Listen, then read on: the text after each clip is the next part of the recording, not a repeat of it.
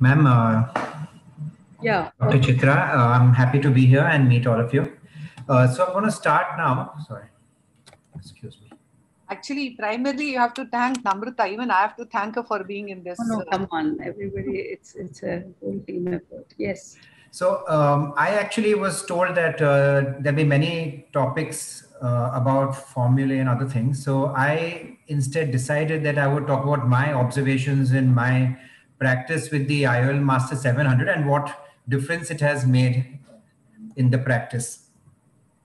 So I'll uh, tell you a little bit about my journey. When I started working in the late 90s, about 97, 98, we had the Allergan Humphrey uh, uh, A scan, and we had to be so careful ob- observing from the side to see that we don't have any sort of uh, pressure on, on the cornea, making sure I just touch only the tear film. And then suddenly in um, you know 2001 two things changed a lot for me. But in the beginning there were very few phacosurgeons doing f- foldables. With very little refractive surgery happening. So there was always this there, there was never this thing about that i shouldn't have a number later. There was no concept of refractive cataract surgery. It was more about the the whole marketing was more about going to office immediately they were told okay you can go home take off your patch and go. Some some some doctor would even put a patch. Just say okay you can just wear the dark glasses and go straight to office. There was a lot of that happening. And so therefore um, the whole uh, you know concept was a bit different. But there always was a need for multifocals there was always a small bunch of people who said i i, I don't want to wear specs. And that started to grow over time. And therefore there was a definite need for an accurate biometer so in 2001, I think towards the end of uh, 2001, we made the switch, and um, it was a huge change because all of a sudden it, it didn't matter who was doing the A scan. I uh, didn't have to recheck anything, and suddenly all that operator dependence just went. All the variable results went away. Of course, they didn't go away because if you had a tougher, harder lens, then you still had to be a bit careful. But the refractive surprises in a standard cataract were gone and then of course because of that we found that we had to shift over to uh, immersion far far faster than we, we actually would have liked to i mean because with immersion it was a big sea change from going from a simple a scan so the early iol masters that we used in the early two in the early 2000s between 2001 and uh, around 2010 uh, is that we had to learn uh, tips and tricks of how to get get around a posterior subcapsular cataract. Go little on the side and try and shoot and things like that. Mature ones were, were of course really hard to do. Signal to noise ratio was an important aspect of whole thing. So we had to quickly shift to immersion because of that. There were still refractive surprises we saw. In 2009, we shifted uh, to the to uh, the accommodative IOLs, which we used for about uh, three or four years. And then somehow they just went out of vogue. But in 2009, when we were using those, we shifted to Holladay 2, which, uh, I mean, we had to ac- actually make sure really accurate because this was the only lens that came in uh, 0.25 jumps. And so therefore you couldn't even really blame the lens, you know. So it just had to be so accurate. We did uh, topography for every case and it was a great learning uh, experience. I'm, I'm not saying that that lens was great, but it really taught me a lot about A scans. So, um, so the IOL Masters 700 uh, compared to what we had with the 500 is a huge, it's, it's a sea change. It's like all those tougher, uh, all the tough ones we had, we used to always get stuck. But it's actually like moving from a car to an suv when, when you're on a rough road. It just takes every single cataract so easily into its stride where it's a hard cataract it's black it's white it's a psc dense anything it just does a fantastic job so of course uh, for us what is what is also important is uh, that that the keratometry is now improved so we don't have to do a topo also in every case because for us uh, in our setup, what we do is if there's anyone the 0.6, 0.7 K, we immediately try to switch over to a like a toric lens. So in my EDOFs and in my toric tri, I mean, in my trifocals, we are nearly at 75 to 80% toric because of an accurate um, K, like, you know, reading. So anyone over 0.7, 0.75 gets, uh, if, if your, if your incision is not going to be in the same uh, axis, then we switch over to a toric lens. So with, with my EDOFs where I use the, use the mini well, um, I'm probably about 85% uh, toric. So that's where we've had a great sea change, even in uh, fixation check, which I think is a fantastic thing that they have on the IOL Master 700. so if you don't get a fixation, it's uh, very clear with my staff. You don't, if you don't have a fixation check on, as when you're not on the fovea, you recheck it again.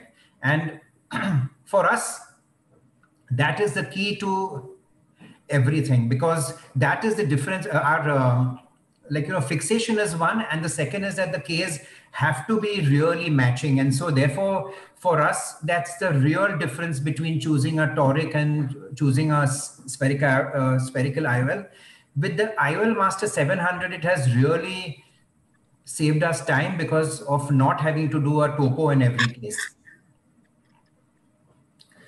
all the formula that we've had and seen and everything is fine, but we still tend to switch uh, to the Barrett formula because I've tried everything else and I just find that this is really accurate. Of course, you've had a whole uh, talk on this, so I, I, I won't go in uh, into the like the details of it, but it's been really helpful. in our uh, practice, as I said, the fixation check is our number one thing. We always make sure that we have a perfect fi uh, fixation. The IOL Master 700 has made it very repeatable and quick. The keratometry has helped tremendously in choosing IOLs. The cataracts now are immersion rate is less than 1% uh, now. So there's practically none at all.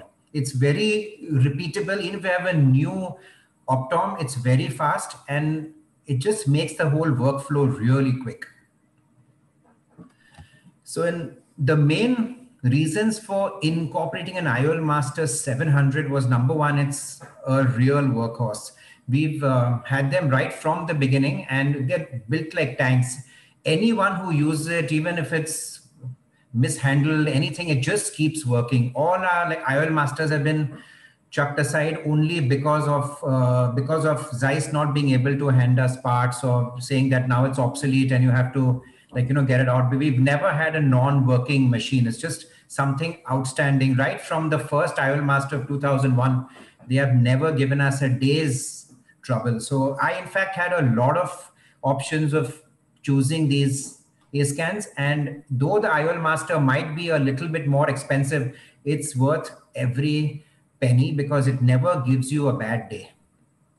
The other thing is that it's extremely reliable in all the measurements. Of course, because of the fixation check, it's really, really easy to look at. I mean, to, to be sure that you're on the right track.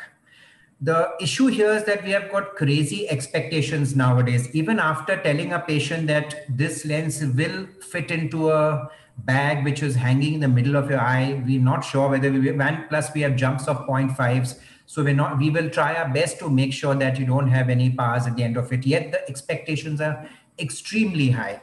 In fact, as we move to extended depth of focus lenses, as I said, uh, we are doing a large study on uh, on the mini well actually, because in my opinion, that's the one lens that gives you very close to trifocal uh, like you know results. The only uh, problem there being that with an extended depth of focus of that kind that is as expensive as a trifocal. The only issue there is number one, if you go hyperopic, you're gone because he's got, even though they may see far, far vision really well, it's very, it's the, like, you know, the near side just drops to N14, N18. So it's, so they're very unhappy. Second point about extended depth of focuses like that, which uh, offer good near vision is that strangely, if you go to minus 0.5 on the sphere, suddenly they say, I can't see far at all. And you have your near vision. What happens is that the near vision is spectacular. They're all N6, but then they can't see far and they get really upset. If you have a cyl which is 0.75 or more, then again, there's that thing, oh, doctor is not very clear. So with lenses like the Mini-Well, you have to be extremely accurate. But once you, once you have that level of accuracy where you're within 0 to 0.25 on the sphere, um, 0 to minus 0.25 on the sphere, and you're within half, half a cylinder of uh, cylinder, I mean, half a cyl on the toric, what happens is that they're extremely happy after that because they have no, like it literally becomes like a, like a natural eye. So I'll be, uh, I'll try to give that study within the next month or two. I'll, uh, that's a fairly large study and we've gained a lot from that. And the more important thing is that we've got really accurate with our A scans only because that lens is very, very difficult to, uh, you know, kind of to make sure that everything has to be absolutely perfect, which I find that with the trifocal that I've used from probably 2016 or so, I found that that's a bit more forgiving. But even then, when I'm uh, all these years that I've used the toric, I mean, the Zeiss trifocals, again, I just uh, did a recent study on that. I found that about 85 to 90% of them were toric. And uh, one thing must be said about Zeiss and its uh, trifocal lenses that this plate haptic works like magic. I mean, there's it once it's in and it's the right place, it's bang on every single time. And there's no, there is no rotation of the lens at all. I think it's because probably because the rings are on the like, posterior surface, but it really makes all the effort of doing a good A scan really worth its while. Thank you. Thank you so